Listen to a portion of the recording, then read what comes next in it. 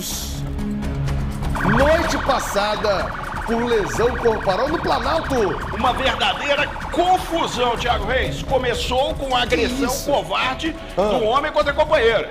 Só que Mas- o filho da companheira chegou Claro. e ninguém aguenta ver a mãe apanhar, né, Foi Thiago? defender a mãe do Ninguém aguenta padrasto. ver a mãe apanhar. Foi defender a mãe do padrasto. Foi. E aí deu um furdunço danado. A Etel Correia tem os detalhes. Ô, Etel, aí o Planalto é nossa área, Etel Correia. Que, que aconteceu no Planalto? Que fuzuê, que furdunço foi esse, Etel? Olha, Tiago Reis e Renato Rios Neto. A confusão aconteceu neste condomínio aqui no bairro Planalto e chamou a atenção de vizinhos. De acordo com o boletim de ocorrência, foram eles que chamaram a polícia. O fato aconteceu quando a mulher de 47 anos foi agredida pelo namorado. De acordo com o boletim de ocorrência, ela foi jogada no chão, levou chutes e teve os cabelos puxados quando tentou correr do agressor. As agressões teriam sido motivadas por ciúme. É que essa mulher havia ido até a casa do filho. Quando ela voltou e se encontrou com o namorado, ele então teria começado as agressões. E o Hamas, mo- movido por ciúmes, passou a agredi-la, atacar objetos, tá com um, um- frasco de álcool em gel.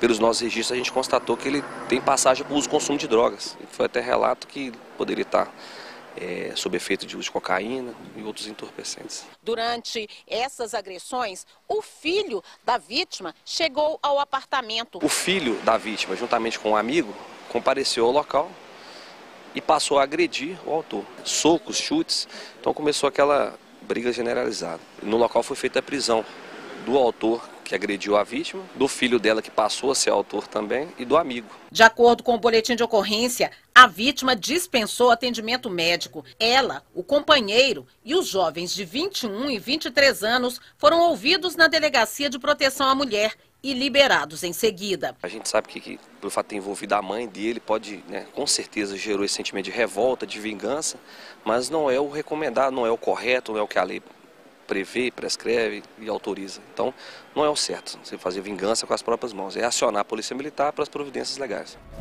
É. Tenente Xavier, Ele tem 10º razão, né, Tá Renato? certo. Só que na hora é difícil. Ah, se você viu o cara bater Ô, na se tua eu mãe. vejo um cara bater na dona Regina, rapaz. O que, que você faz, Renato? eu Nem sei, prefiro nem falar, porque senão daqui a pouco eu, tô, eu que sou preso aqui, tia. O tenente tem razão, o correto é ligar pra polícia, deixar que a polícia faça o papel dela, mas que na hora você fica louco da vida, você fica. Ô, Fica, Renato, Na hora é difícil, tem como segurar.